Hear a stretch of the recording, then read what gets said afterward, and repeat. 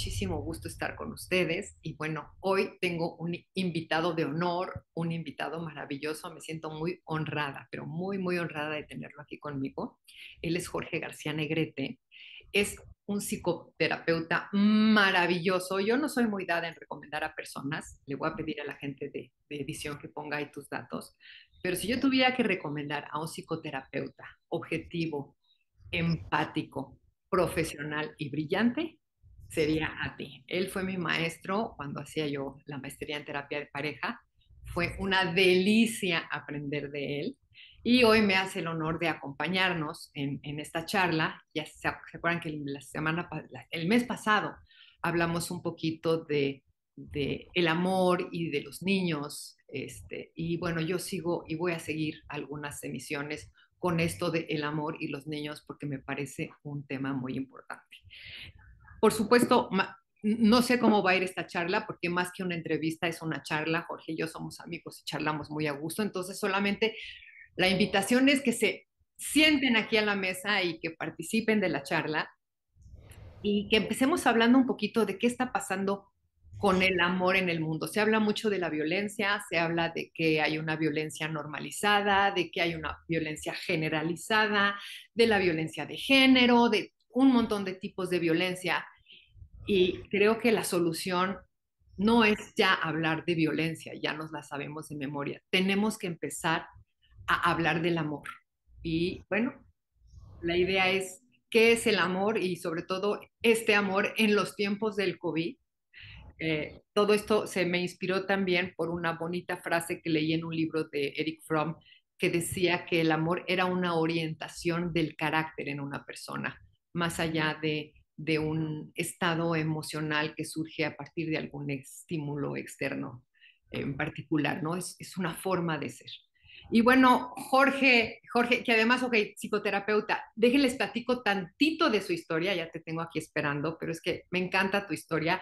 Él era director de un área administrativa importante en televisión, muchos años también fue productor en radio y él nos platicaba en la maestría que un buen día dijo, eh, hay, hay, algo que está faltando, hay algo que está faltando. Este, se despidió de todo mundo, se retiró un año para, para no hacer nada durante un año, ir hacia adentro del mismo, se aisló absolutamente de todo y regresó convertido en este hombre maravilloso que es una bonita mezcla de empatía, sensibilidad, objetividad y estructura. Y de a ti quiero, quiero escuchar cómo, cómo, cómo ves las cosas, qué, qué es lo que está pasando con el amor en el mundo y qué podemos hacer al respecto. Eh, bueno, antes que nada te agradezco la invitación, agradezco tus palabras muchísimo, Erika. Para mí también, sabes que desde que te conocí fue, fue como un amor a primera vista. Eh, recuerdo mucho cómo estaba yo lidiando para explicar arquetipos y de repente tomas tú el control de la clase y lo explicas a una velocidad impresionante que desde que te conozco a mí eso me provoca entre mucho interés, mucha sorpresa y, me inhibe porque tu velocidad de pensamiento es suprema y, quisiera empezar con una advertencia. Cualquier cosa que hable sobre el amor hoy es eh, de mi absoluta responsabilidad y de mi absoluta limitación y desde lo que yo he experimentado. Y hay algo que me inspira en la plática de hoy. Normalmente la música pop solía estar a, 80, 90 bits por segundo, por minuto, y es una, por segundo, y es, una, es un ritmo que nos marca, que va muy atado de cómo podemos percibir la realidad. Si lo, la plática de hoy fuera así, yo creo que los voy a bajar como a 60 bits y tú vas a estar como a 3000 bits. Entonces, con estos dos asegúnes, me hago responsable de lo que diga desde mis propias limitaciones de mi experiencia y eh, seguramente aquí eh, esta danza amorosa que vamos a tener en la plática va a tener como esta dualidad de una velocidad bárbara de pensamiento tuya y un poquito la lentitud de, de mis razonamientos. Con esas advertencias podemos empezar a platicar, Erika. Muchas gracias. Porque ya envejecí, ya voy más lento, pero vamos, adelante. Háblanos, háblanos, háblanos, háblanos del amor ahora. ¿Qué es lo que está pasando con el amor? ¿Cómo lo ves con tus pacientes, en la vida, desde dentro de ti? ¿Qué es lo que está pasando con el amor en el mundo? Fíjate que lo que está pasando con el amor en el mundo es lo que ha pasado desde toda la historia de la humanidad. Eh, me acuerdo que cuando estaba empezando a estudiar budismo, estaba yo con mi esposa platicando sobre el concepto de uno de los dos, de los dos, de los tres venenos mentales, que es el apego, y estábamos viendo que no hay nada impermanente, que, no hay nada que dure eternamente. To- todo se transforma.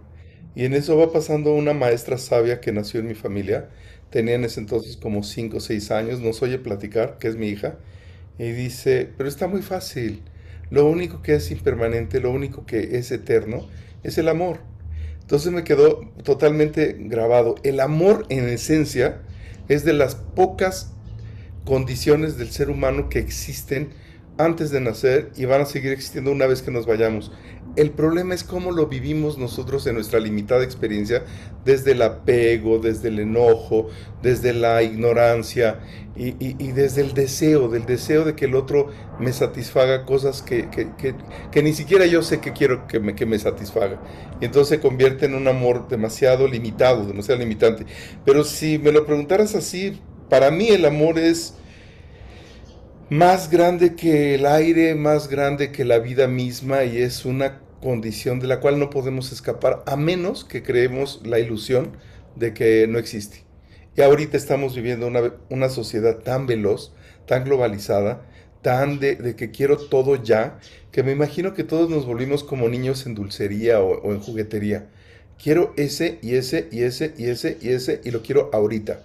Entonces ahí es donde nos hacemos unas bolas horribles porque entonces no disfrutamos de la condición del amor que va a su propio ritmo, que existe a su propio aire y pensamos que es algo que me debe hacer sentir feliz, traer paz, tranquilidad, pero ahorita. Y entonces ahí es donde empezamos a chocar. En, cuando platicamos, eh, lo de Fromm a mí me fascina, porque en el arte de amar hay una parte donde lo define como un arte, pero también lo define como una opción, como una decisión propia. Y, y creo que sí, pero es una decisión que inclusive nos rebasa. Yo puedo decidir amar algo o alguien, pero el amor ya está ahí antes de que lo decida. Yo puedo elegir a quién amar, pero el amor está antes de que el otro aparezca. Entonces, yo sí creo fervientemente, y lo he experimentado, de que es una condición que está ahí, y si te sintonizas con esa condición, eh, la condición humana se vuelve grande, amplia, respiras abierto. Si te aíslas de ahí y entras al miedo, al apego, al deseo, de inmediato se vuelve todo chiquito y entras en un, en un callejón sin salida oscuro, en donde todo parece terriblemente aterrorizante. Lo que dices me encanta y me, me llaman la atención algunas cosas. Esta, esta metáfora que haces o esta analogía que haces de que estamos viviendo a una velocidad impresionante con una serie de estímulos que van uno tras otro, tras otro, tras otro y entonces estamos, quiero esto, quiero esto, pero no nada más quiero, tengo que atender esto, o sea, porque a veces ya ni siquiera es lo que quiero, es, es un estado ya, ya pasó de un estado de, de, así lo veo yo y también igual que tú, lo que diga viene desde mi limitada experiencia y mi, mi limitada visión. Este, estoy teniendo que atender tantas cosas al mismo tiempo y hay tantos estímulos y tantos desafíos allá afuera que a veces ya no sé ni lo que quiero, ya no tengo tiempo ni de querer. Un poquito como, como la frase ese que decía mi papá de ya no quiero queso sino salir de la ratonera, ¿no? Entonces, la tecnología nos ha rebasado. Tenemos ya de antes este sustrato de deseo el amor que está allá afuera y lo quiero así, y el placer que está allá afuera y lo quiero así y así y asado. Y luego esta velocidad, y a mí me da la, la impresión de que, de que toda nuestra atención y nuestra experiencia se está yendo hacia afuera de nosotros y que ya no es, ya no es el otro día oía, hay, hay una, una, serie que, bueno, un programa aquí de red que me gusta, un, un stream, un streaming que me gusta muchísimo y hay una persona que habla mucho y repite mucho la palabra indolencia, la repite hasta el cansancio. Y, este, y, y sí, siento que nos hemos vuelto insensibles incluso a lo que nosotros mismos sentimos. Y, eso, eso es, es, algo trágico, es como si estuviéramos fuera de nosotros y llegan los pacientes y le preguntas al paciente qué quiere, el paciente no sabe qué quiere. Ya no saben, ya no sabemos qué queremos porque, porque, porque algo se desconectó, es como si algo se, ya se, se viene rompiendo desde generaciones atrás y es como si ahorita estuviéramos en una crisis donde estamos ya todos muy cansados, muy extenuados. El otro día también aquí me hablaba de la palabra desesperanzados. desesperanzados. Y de repente es, bueno, ¿y, ¿y qué podemos hacer? ¿no? ¿Cómo, cómo podemos? Y, y, entonces esta parte de la tecnología y de la dulcería me gusta, me gusta mucho y me gusta mucho otra cosa que dijiste y es el amor, son tres cosas, perdón, el amor tiene su tiempo. No es el tiempo de la tecnología, el amor va más lento. Tenemos que hacer una pausa para sentir y entonces desde esa sensación sentir ese amor, que además no viene de afuera, está adentro. Y con esa prisa, pues resulta difícil. Así que una de las grandes cosas es, como un llamado urgente a empezar a hacer ejercicios de pausar en la vida, para empezar a sentir adentro algo que no hemos sentido y que puede ser incómodo, Jorge? Sí, incluso te voy a compartir en, esta parte de comunicación donde dediqué mucho tiempo a mi vida. Hubo una vez que estuvimos en una plática con Brian Eno, que es de Roxy Music y un gran productor de, de grandes artistas. Y él también en, una búsqueda muy interna de, de, este amor, él decía que son estados alterados que se logran, obviamente producto de la generación, se logran por tres vías. Una por el uso de sustancias psicodélicas que ahora vuelven a estar de moda incluso en la psicología. La otra era por una experiencia de meditativa profunda, de la cual en México tenemos unas experiencias brutales con, con Santa Teresa y las moradas o los ejercicios espirituales de San Juan de la Cruz. Y la otra decía con una experiencia profunda sexual. Y es bien interesante porque sí te podría, yo, eh, yo, yo, yo, yo afirmo es, esa, esa última, porque cuando estás con una pareja, no necesariamente en el acto sexual o en la penetración, pero cuando estás con una pareja que te regresa a ti, que te devuelve a la dimensión tuya, el tiempo se detiene, el corazón deja de latir, la temperatura se colapsa y entonces se abre un portal a la eternidad donde no hay ninguna función física y lo único que hay es una conexión con la totalidad y pierdes tu ser uno y, y, eh, individual y te vuelves un uno colectivo y eso es una, una evidencia física de, del amor y entonces el tiempo del amor puede ser eterno, porque ese segundo es lo que nos conecta con la eternidad. Pero sí, eh, con la globalización, con la tecnología, todo tiene que ser rápido. Voy, voy, voy, voy, a, voy a interrumpir aquí porque también hablaríamos la superficialización, ¿no? Porque estás hablando de la experiencia sexual, estás hablando de una experiencia sexual sentida, de una experiencia sexual eh, de respeto, de acompañar al otro y sentirte acompañado por el otro. Y la libertad este, que, que vamos teniendo en, en, todos los campos de la existencia va haciendo que le quitemos valor a esas experiencias y vayamos de un lugar a otro, no todo el mundo, pero sí bastante gente de un lugar a otro, buscando esa experiencia, porque curiosamente lo que buscamos es eso y, y, la manera en la que lo estamos abordando no es la manera en la que lo vamos a encontrar. No, no, es un rush, es un rush por, por querer sentir eh, eso que creemos que es y que no es, porque si, tienes la necesidad de buscar eso, no lo encontraste. Si pierdes la necesidad de buscarlo, ahí estás. Pero es eso, es buscar los nuevos followers, es buscar, es dar testimonio en redes de que la estás pasando increíblemente bien, y mira qué comida más rica, y mira cuántos amigos tengo, y, y mira qué feliz estoy en la playa. Y, y, eso es una satisfacción muy superficial. Tienes razón con el tema del, de hay una hiperbanalización de, de los conceptos más profundos, porque todo se vuelve como amplio, como, como si fuera un océano de experiencias, pero con medio milímetro de profundidad. Y la Entonces, profundidad también va del tiempo, o sea, ¿cómo voy a tener tiempo de tocar esto a profundidad si tengo 25 otras cosas que hacer? Y además, mientras estoy en esta experiencia, estoy pensando en otras 25 cosas. Tengo que tomarme la fotografía en el Zoom, tengo que escribir el mensaje, tengo que ponerle el filtro para que se vea como se debe de ver. Y entonces, en realidad, la cultura que estamos viviendo está, yo no creo que sea algo a propósito, yo creo que ha sido algo que nos ha sorprendido, yo no creo en las teorías conspiracionistas, sí creo que nos tiene sorprendidos a los seres humanos. La tecnología nos rebasó y, la tecnología está mandando la cultura y la tecnología está mandando los valores. Cuando la tecnología manda los valores, los valores no son humanos. Cuando la tecnología marca el tiempo, el tiempo no es humano. Y entonces hay gente que dice que nos estamos deshumanizando. Y yo creo que sí, pero precisamente porque estamos este, atrapados en esta experiencia. Decías esto de la experiencia, la experiencia de amor es con una meditación, con una experiencia con enteógenos o con estas sustancias como, como la ayahuasca y el peyote y esto, y, y en, la, y, en la, y en la experiencia sexual.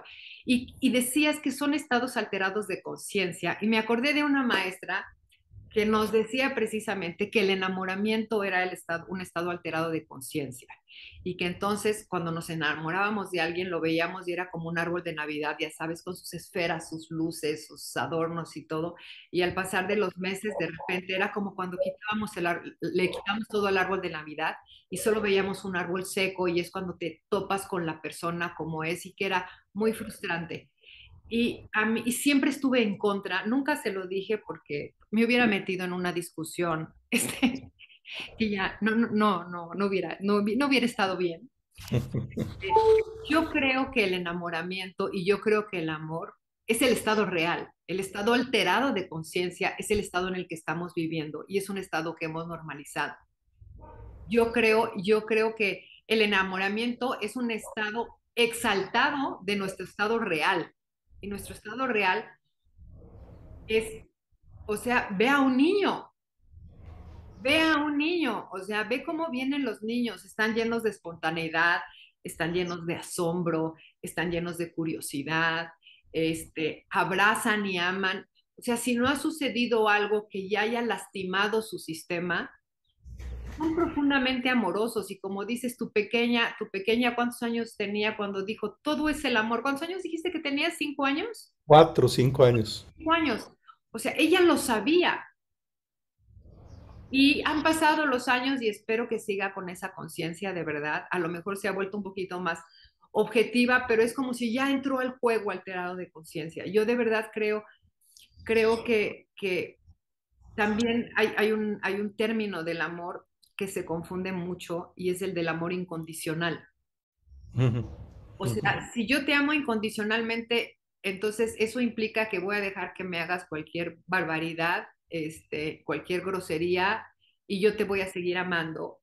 Voy a permitir todo eso. Y no, yo te puedo seguir amando, pero no voy a permitir que me trates fuera de la dignidad con la que merezco ser tratada y con la que mereces ser tratado tú, ¿no es cierto? Te puedo seguir amando, pero me puedo divorciar de ti. Te puedo seguir amando, pero puedo, pero el te puedo seguir amando es no te amo a ti, es que amo, amo a los árboles, amo mi, mi, mi maestría, amo esta charla que estoy teniendo, amo equivocarme a veces y hacer recenas cómico, mágico, musicales. Es que le estaba platicando que antes de arreglar esto, se me cayó toda la computadora, el vaso con agua, se ensució la sala y entonces era como, como de, de, meme de TikTok, o sea, estuvo de locos. Pero es, es, es una elección. Yo elijo desde mi carácter hacer el esfuerzo y creo que está muy unido con el respeto. Quizás tenemos tan, tan románticamente entendido el amor, que pudiéramos empezar a caminar desde el respeto por la vida. Sí, totalmente. Y ahorita que te escucho, hay como una confusión. Sí, es cierto, está, eh, el concepto de enamoramiento es diferente al del amor, pero estos estados alterados de conciencia nos tendría que llevar a reflexionar lo que los budistas ellos usan dos palabras diferentes para, para la conciencia. Hay un estado de conciencia total y absoluta donde estamos conectados, donde sentimos lo mismo, donde somos un solo ser. Pero hay un estado, e, esa es la conciencia más plena donde existe el amor, donde vive el amor. Pero hay un estado de conciencia más pequeñita. E, esa otra conciencia no la podemos percibir conscientemente y no podemos describirla o entrar a experimentarla de manera consciente, salvo un profundo trabajo espiritual. Y la, la otra conciencia que es pequeñita, es un estado en donde eh, es más kantiano, porque lo percibes a través de los accidentes, a través de, del color, eh, de la forma, del sabor, y entonces ahí tienes un poquito, eh, un sentido de esta conciencia más amplia, pero está deformada por tus percepciones. Y, y ese sería el enamoramiento. Esa sería la parte donde yo creo que me enamoro de ti porque tú me vas a dar algo que yo no tengo cuando no es, es, es- esa, ese sería un amor ya con apellidos. Cuando hablas de amor incondicional, yo de inmediato se me viene el- todas las clasificaciones y el amor no tiene apellidos, el amor es una el condición amor plena. por eso, por eso es incondicional, porque no, pero le pongo un apellido, ok, entonces el amor como tal.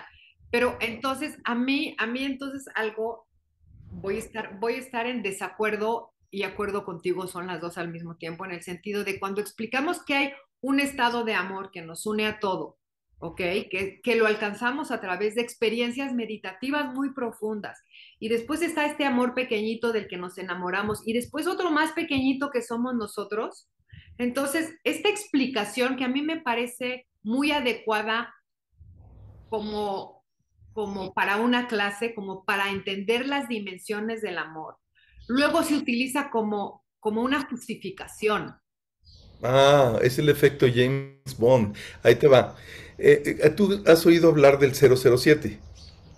Eh, Sé quién es James Bond y sé quién es el 007, pero nunca había yo escuchado hablar del efecto James Bond. Así es que cuéntamelo todo, todo. Por, cuentan, que nos cuente, ¿verdad? Amigos, que nos cuente, Jorge. Mira, es algo que yo me imagino, no- ni siquiera existe como una teoría tal cual. Pero el 007, el- el- la clasificación double, double O significa que tiene permiso para matar. Ok.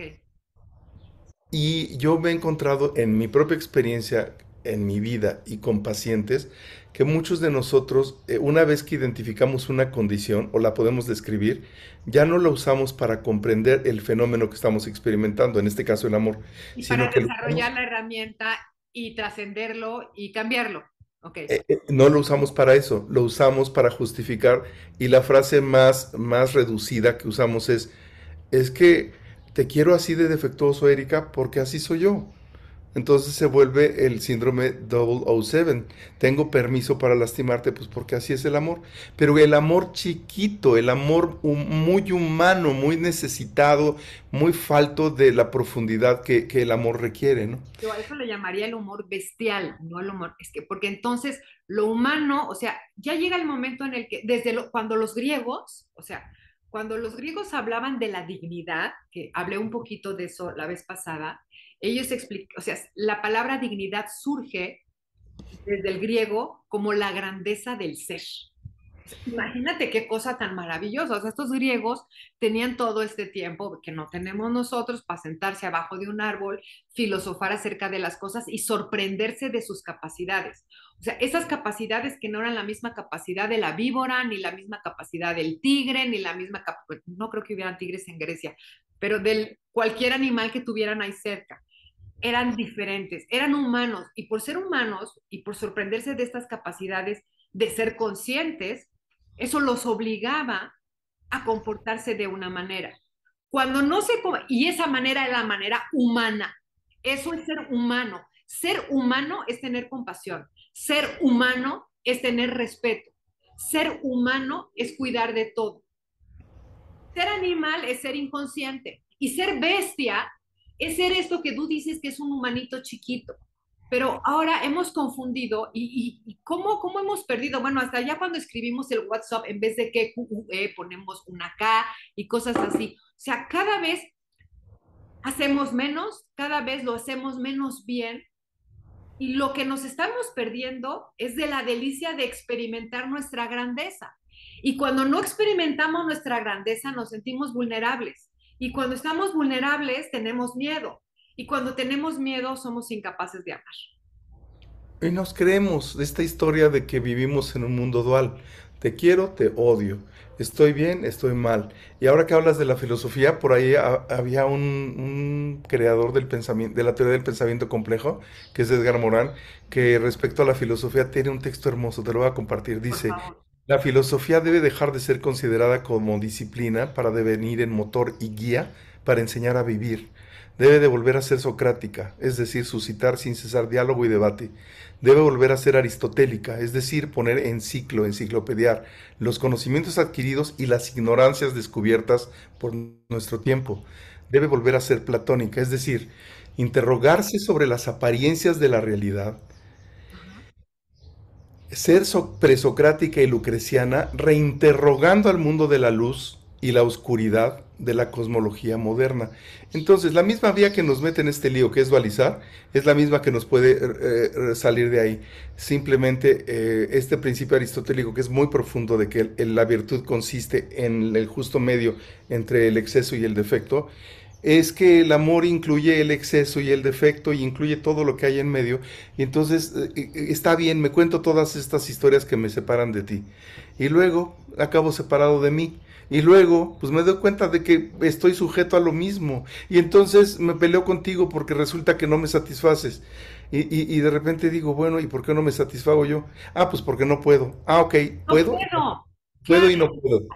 Y, esta discusión se acabaría si de verdad atendemos a esta filosofía o esta esencia eh, de un requerimiento mínimo para el ser humano, de que somos todo, absolutamente todas las experiencias, peleándome y estando en paz contigo ahorita que decías esto de no puedo, no sé por qué, me vino una imagen de un niño.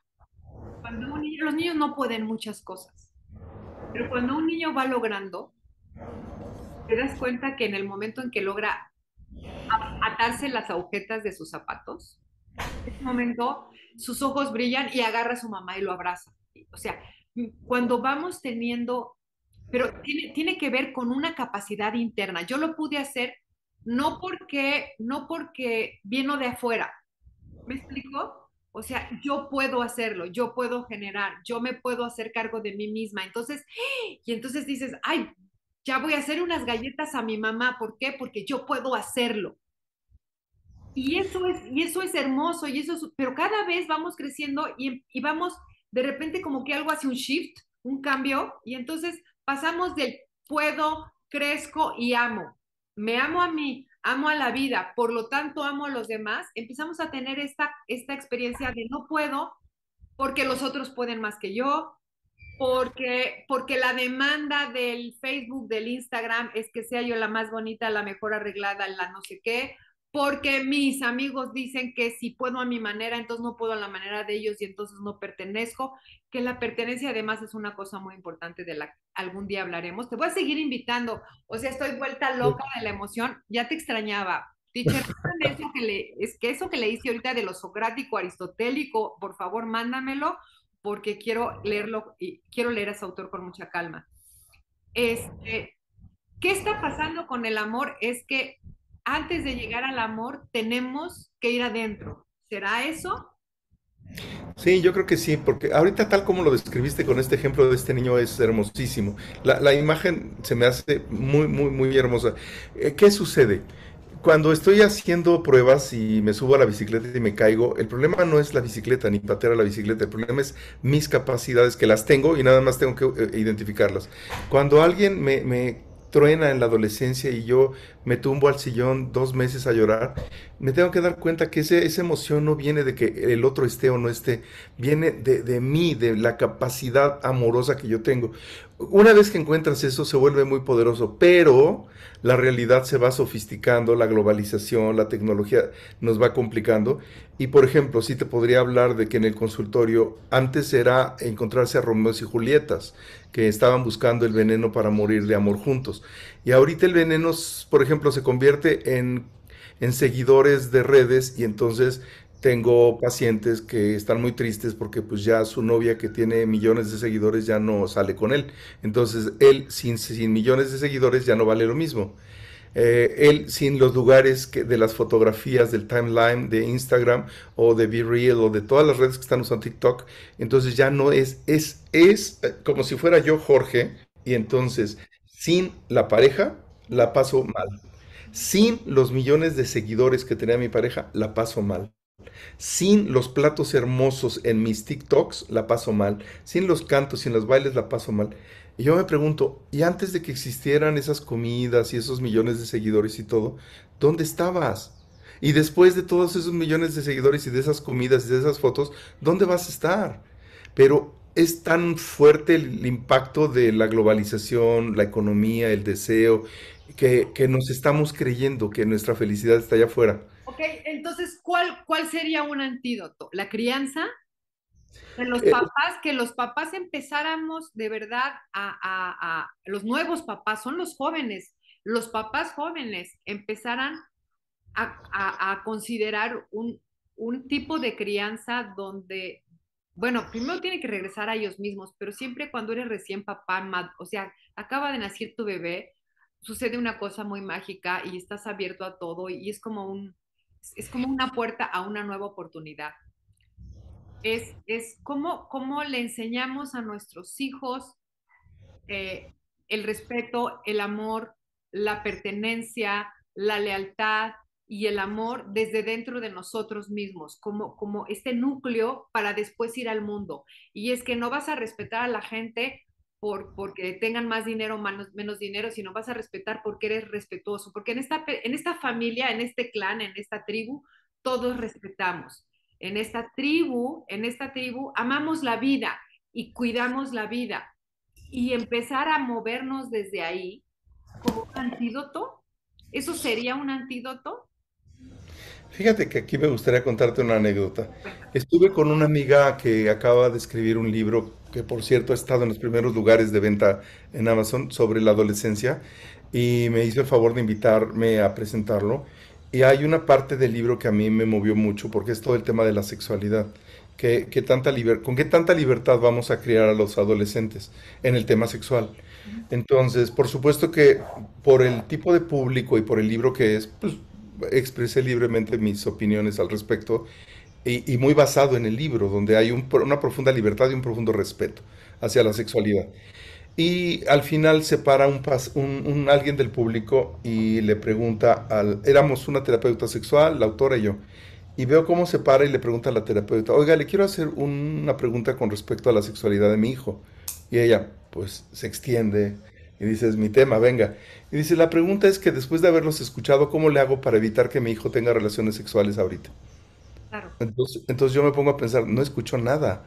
Entonces, esa anécdota nada más la quiero usar para ilustrar lo que me decías.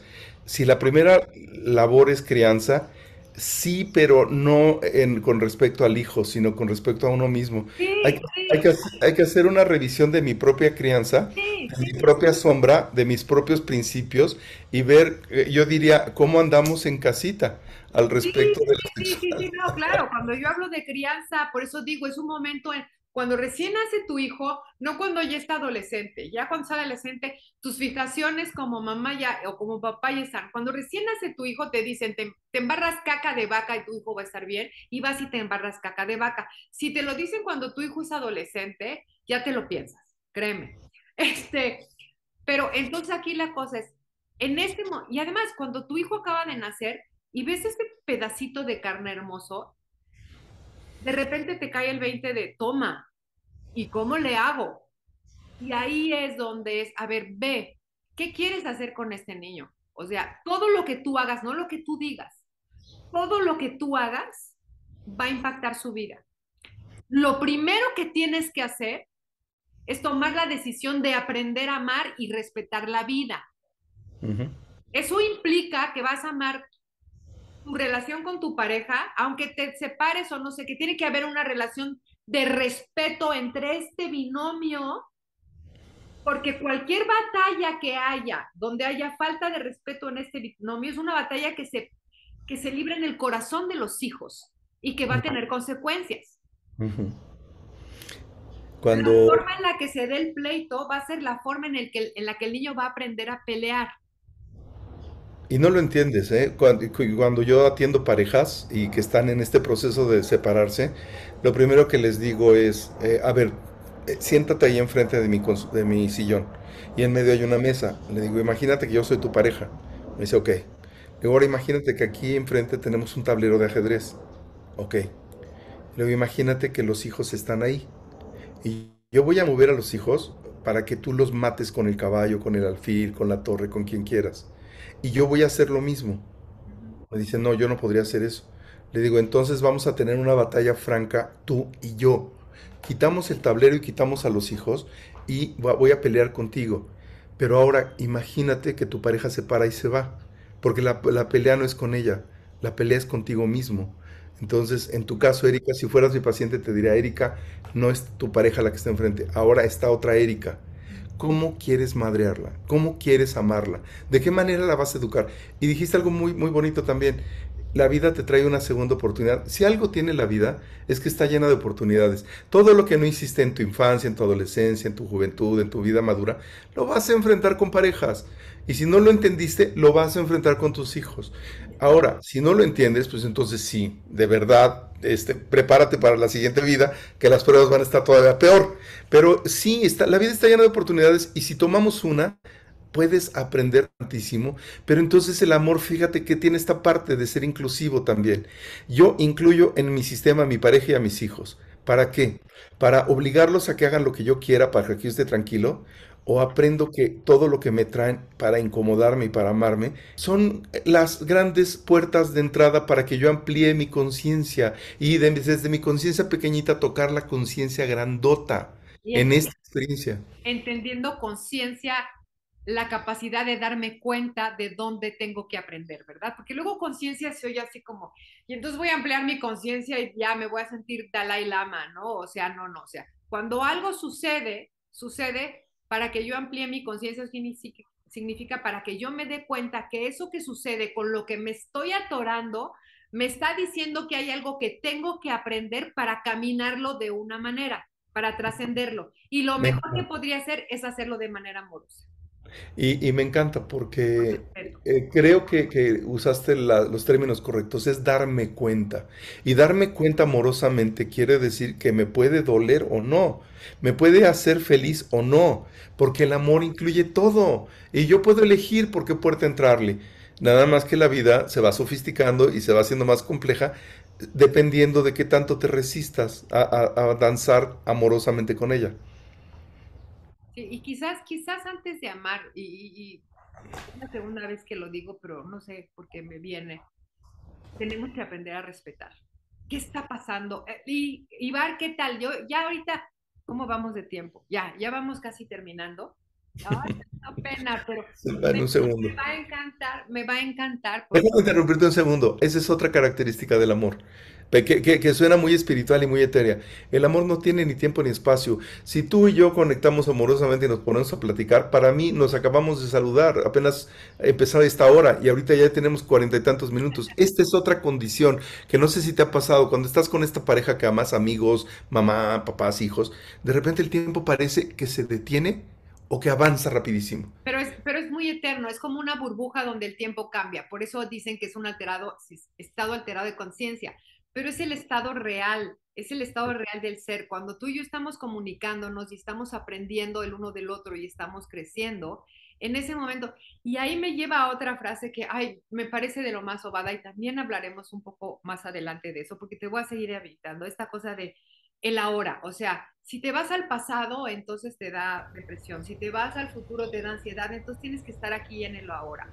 Y esta, y esta esta, este, ¿cómo se llama? Esta frase como muy hecha, eh, también se ha este, hecho muy superficial y entonces, bueno, si es el aquí y el ahora, ok, entonces voy a hacer lo que me dé la gana aquí y ahora. Y no, o sea, el aquí y ahora además es muy chistoso. Todo esto, es que me gustaría a veces que, que las personas dejáramos de pensar un poquito y de justificar? Tú dijiste algo de la experiencia sexual maravillosa, pero te voy a decir una cosa lo que la hace maravillosa es que dejas de pensar y empiezas a percibir.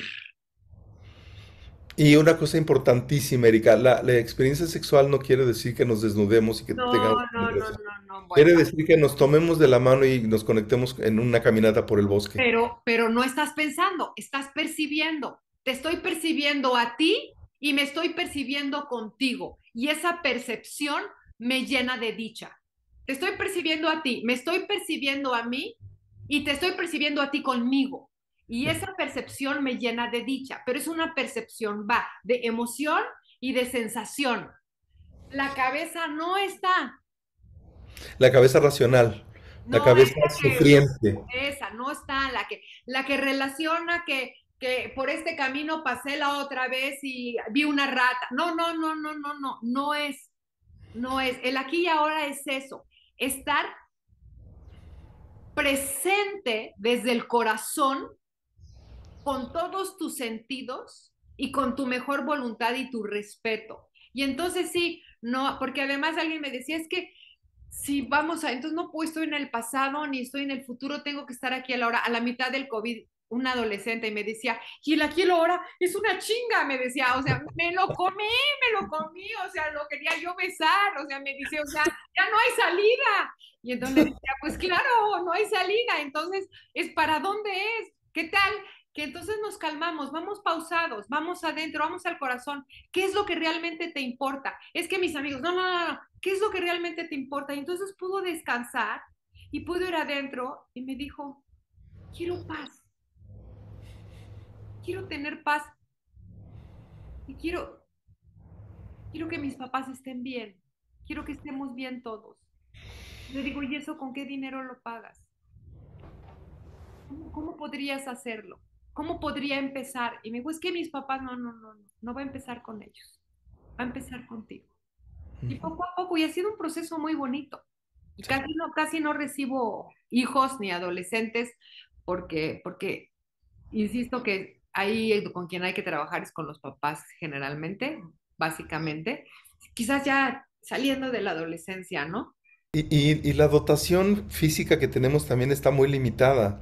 Acabo de leer un libro que se llama Siete lecciones y media sobre el cerebro, de una eh, neurocientífica que estudió, no sé, miles de casos para entender el funcionamiento del cerebro.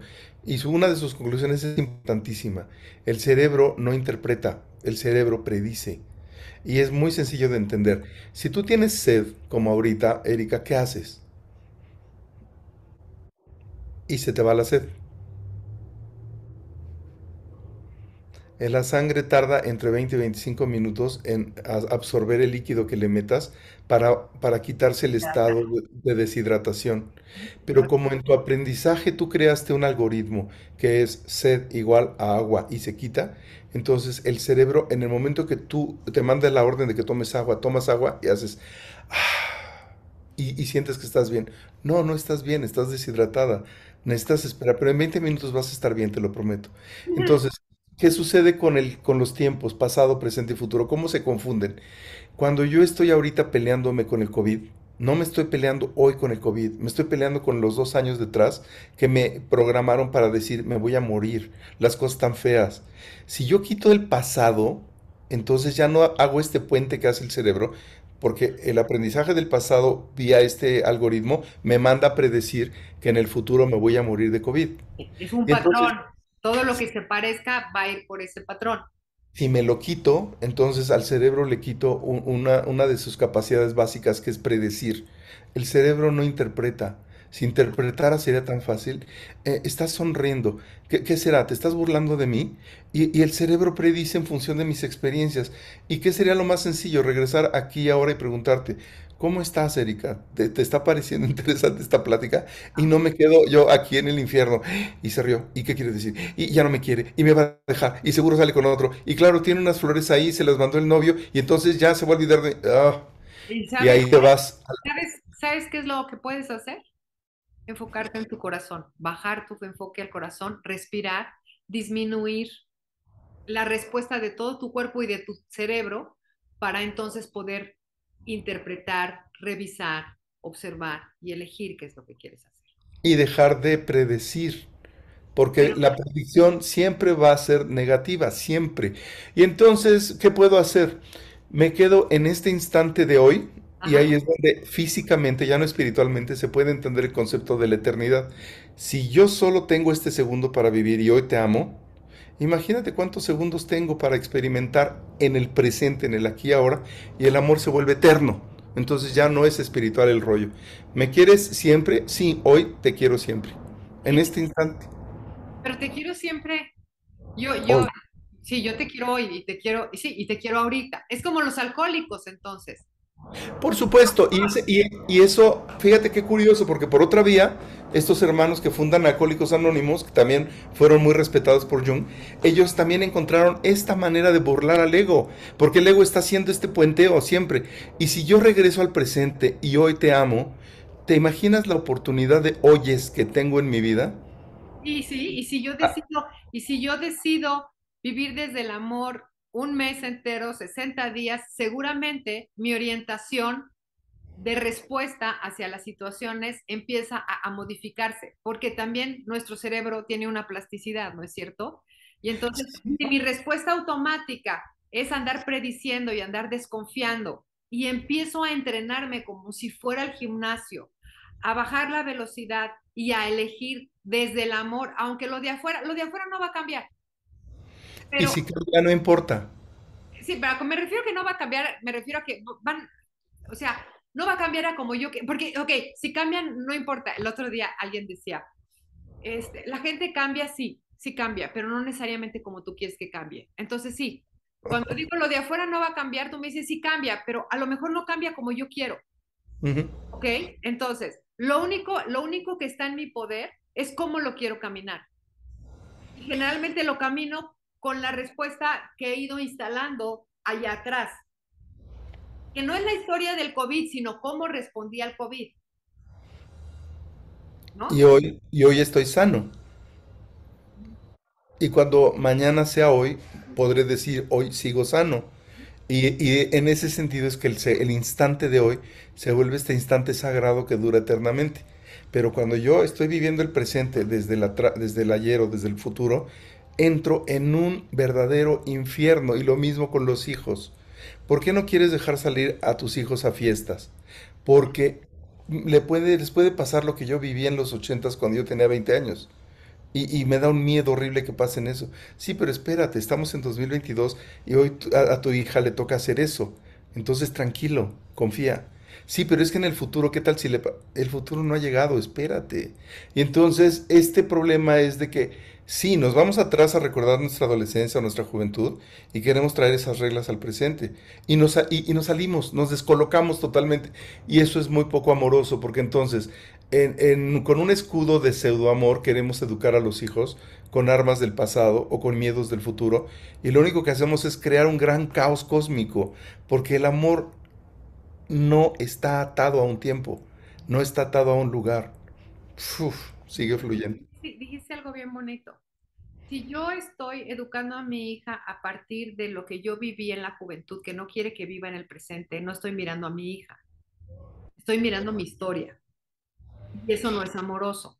Tengo, para estar en el presente, tengo que estar en contacto conmigo, a lo mejor incluso con mi temor de madre, mi temor Sí, de madre, reconocerlo, mirar a mi hija, mirar las necesidades de mi hija y desde ese lugar negociar algo que sea correcto para la evolución de mi hija y desde mi responsabilidad de madre. Entonces yo lo que hago, yo lo que hice fue, yo las llevo a la fiesta y no me importa que sean las 3 de la mañana, yo voy por ustedes.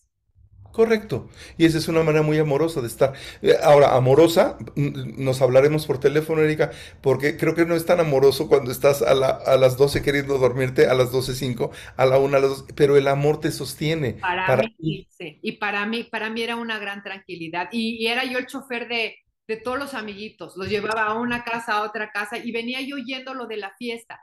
Pero tú sabes cuál, cuál es el plus. Mira, el plus eran muchas cosas, pero pero yo los escuchaba y después escuchaba a mi hija y después en el trayecto de regreso sí era muy cansado, pero, pero esa lealtad, ese apoyo hacía que mi hija tuviera confianza en mí y yo tenía confianza en ella. Entonces había, había e- esas, esas desveladas fortalecían nuestro vínculo muchísimo. Que ahí es un tema que medio semblanteaste, que, pero que es otro tema que da para muchas cosas, que es el tema de la pertenencia. Si tú eh, tienes esta convivencia con la gente que amas, se abre un sentido de pertenencia tan profundo que está basado, curiosamente, en la paradoja, en que eh, tu hija no te pertenece, tú no le perteneces a ella, pero si logras esa experiencia, logran un sentido de identidad y de pertenencia que va más allá de los cuerpos, que va más allá de las emociones, que va en este, este nivel profundo de amar en donde yo lo que digo es que amas hasta que los huesos duelen y hay mucha paz, hay mucha tranquilidad. Vienes en el carro, vienes oyendo sus patoaventuras y sonríes. Le- eh, vienes oyendo que tronaron con el novio, sonríes también. Y estás ahí, solo estás ahí. les das la mano. Como te la darías a ti, cuando tú misma pasas por eso. les dice, se siente muy feo, aquí estoy. Mira, Ay, fíjate, qué bonito, qué te, voy a, te voy a compartir otro texto que, que- que, eh, yo creo que cierra bien esto que hemos platicado, que es, sabemos que la aptitud de gozar, y entiendo por ello gozar de la vida, es a la vez la aptitud de sufrir. Si aprecio el buen vino, sufro cuando me obligan a beber un vino que juzgo malo. Mientras que si no hubiera cultivado una aptitud gustativa, podría muy bien beber, no importa qué, con indiferencia. Del mismo modo, la aptitud para la felicidad es la aptitud para la desdicha. Me encanta esto porque entonces ya me asumo, estoy en un mundo dual, donde hijos mal educados, hijos mal educados. En el caso de la mujer es muy potente, soy una buena madre, soy una mala madre. Eh, Desde el amor eres absolutamente todo y te quedas en paz. Y dejas de vivir con los demonios del pasado y con los peores escenarios del futuro. Y entonces amorosamente te tratas tú eres suficiente y le das este, este entorno amoroso a tu gente, a tu familia, o a la gente que nos rodea. Y vivimos, fíjate, una cosa que también sería interesante considerar, así como está la globalización y así como está la, la economía muy liberal y así como está la tecnología, hay otro aspecto muy importante que tiene que ver con la exclusión. Nunca en la historia de la humanidad hay una diáspora generalizada donde hay migrantes por todo el mundo. Nunca había habido estos millones. Yo soy así, el otro es así, es diferente. Y al hacer esto, entonces, ¿qué eres? Eh, ¿Neoliberal fifí o eres chairo? ¿Y, y tu hija es una buena hija o es una mala hija? Somos todo. Pero es que, Y a es, ver, pero hay que entender, eso es un juego político, ese es un juego, y lo, lo dije la otra vez, es un juego, la política se vale de estas etiquetas minoritarias y de estos juegos para decir, si votan por mí, y no votan por el otro. si votan por mí, entonces van a tener todo eso. Es un juego político. Lo terrible es que la política ha invadido nuestros valores, Y nos saca del amor. nos saca del amor e invade nuestros valores, Lo exacto. cual es solo una ilusión. Si, Ujú. yo- si partimos del hecho que el amor es una condición que va más allá de tu control, es una cosa en la que naces y en la que te vas a morir. La única manera de salir del amor es creando ilusión de separación, ilusión de destrucción. pero la política lo genera. Entonces aquí la cosa es, ok, la política no va a dejar de ser al menos por un rato, pero hay que dejarla allá. Aquí en casa, aquí en casa, aquí en nuestro día a día, no hay minorías. Aquí en nuestro día respetamos tanto al viejito como al joven, como al de color, como al que tiene dinero, como al que se viste de rastas, como al que se viste de oro, como al animalito, como a la planta. ¿Por qué? Porque va de nuestra dignidad, de nuestra grandeza como humanos, que nos comportemos de esa manera. Y solo así podemos empezar a cambiar las cosas. Digo yo, Y, y me encanta porque eso que acabas de describir es el amor. No deja de haber pobres, no deja de haber ricos, no deja de haber diferencias, pero estamos en el mismo envase. Y, nos, y lo, que, lo único que nos une, la emoción más profunda que nos une, se llama amor. Si lo aprendemos, si realmente lo aprendemos, lo metemos hasta los huesos, entonces es muy fácil compartirlo con los hijos. una despedida, una frase para despedirte. Aparte de, te agradezco eh, muchísimo. eh, mira, yo te diría que el amor empieza por uno mismo y termina en el todo. Entonces, no mirar hacia afuera, mirar hacia adentro y vas a descubrir todo. Yo creo que eso es el- el- la, la clave del amor. No, nada más que decir, nada más que decir. Gracias, Gracias a ti, muchísimo. Erika. ¿eh? Nos seguimos viendo. y te, te voy a tener aquí en más ocasiones. Vamos, la- las personas que, que nos escucharon, estoy segura que van a querer seguirte teniendo aquí en más ocasiones y, y te lo voy a agradecer. Igualmente, Erika. Bendiciones, corazón. Bye Nos bye. vemos pronto. Gracias, amigos. Gracias por acompañarnos. Nos vemos el próximo mes. Y bueno, ya saben, aquí están los datos de Jorge. Si alguien quiere contactarlo, es un excelente psicoterapeuta. Nos vemos.